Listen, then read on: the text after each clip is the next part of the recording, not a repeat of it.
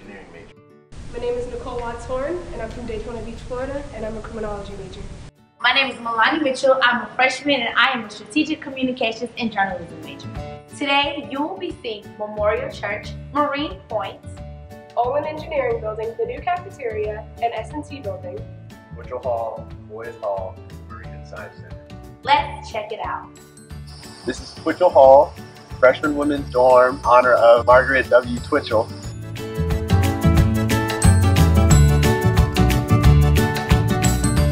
Hall residents can enjoy a snack room, central air, recreational room, and a large lobby that holds at least 300 students, a waiting area, and a modern kitchen.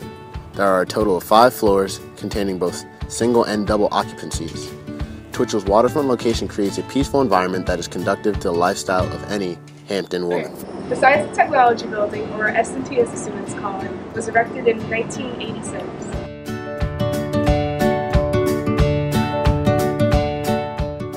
This building was opened under President Dr. William R. Harvey.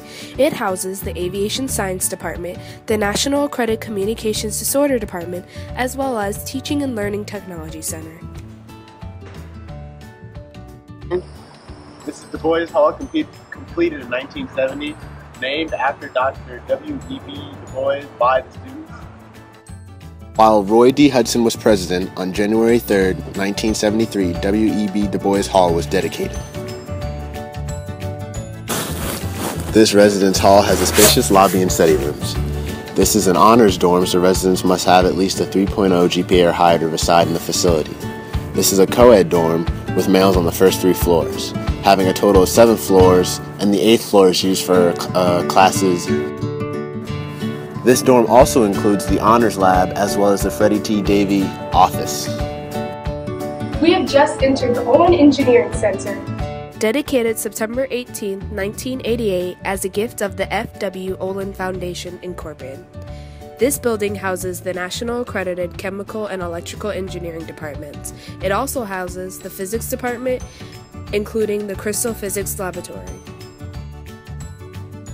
Marine Point founded in 1868 by General Samuel Chapman Armstrong on the Marine Dock. Our most recent Parent Day was hosted here, right off the water and across from Hampton's very own naval base site.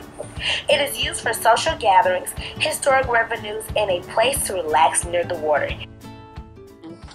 The Marine Science Building, erected in 1981 by President William R. Harvey and Chairman James J. Henderson. This one floor building is used for a variety of marine science research and classes. Uh-huh. And this is the new cafeteria.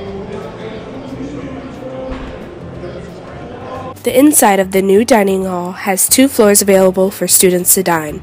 There are booths, tables, and a high top bar. In addition to all the eating areas provided inside, there's also an outside under the watch of President Dr. William R. Harvey, Hampton initiated a $25 million campaign to build the new CAF in October 2006. Through many generous donations from our alumni, ground was broken for the dining hall in September 2010.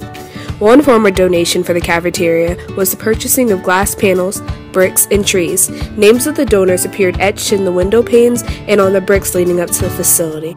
We are now at the Memorial Church. The Memorial Church, dedicated in 1886 to President General Samuel Chapman Armstrong. This wonderful chapel has a bell tower that stands 150 feet high and has a clock that sounds on all four sides. They were built on a grand scale to welcome all those who entered the building.